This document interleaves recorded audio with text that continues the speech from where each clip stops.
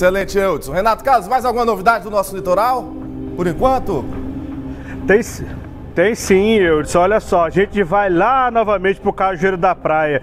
É, eu, sou Thiago, olha só, muita confusão, viu, por parte no Cajueiro da Praia. É impressionante, o Thiago e eu, como esses municípios, esses municípios menores estão aí a cada dia com confusões grandes, viu, Thiago? E eu, confusões a nível de cidade grande. Coisa grande, aí toda hora tem uma notícia e forte. Quais são as novidades agora? Veja só, Tiago, agora neste sábado, é, as especializadas da Polícia Militar do Piauí recuperaram um veículo, Tiago e Eudson, clonado, viu? E apreenderam uma pistola e prenderam cinco pessoas por porte ilegal de arma de fogo ah, na localidade Borogodó, em Barra Grande, Tiago. Você lembra que noticiamos, né, na semana passada, a morte aí de uma pessoa lá naquele bairro Borogodó, um bairro que Lembra está aí é, despontando com relação a violência, viu, Tiago e Eudson? Olha só, segundo informações da Polícia Militar, é, após receber aí, aí, denúncias né, que haviam possivelmente um veículo levando drogas e armas para a região de Barra Grande e também Cajueiro da Praia, as especializadas do BOP, viu, Tiago e Eudson?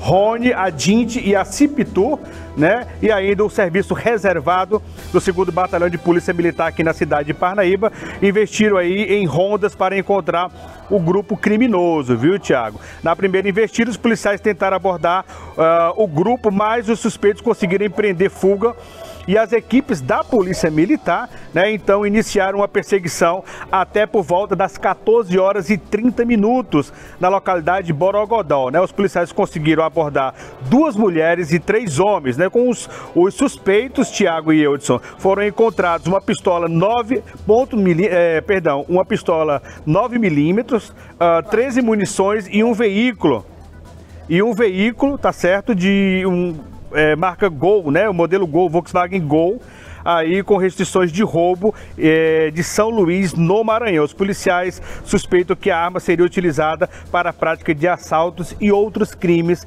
na região. Tiago Trindade. Obrigado, obrigado, Renato. Olha, eu, só alguma novidade ou já já a gente volta? Eu tenho uma novidade, uma denúncia muito séria que nós vamos fazer. Aproveitar até rapidinho o Renato que tá aí. Renato, hoje você ficar acompanhando a gente aqui, você vai ficar é besta. É.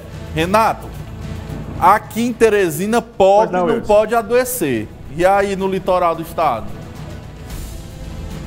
Rapaz, aqui também tem uma situação bastante complicada. Se adoecer, o negócio pega. Pois olha, nós temos uma denúncia daqui a pouco, com exclusividade aqui dentro do Brasil Gente.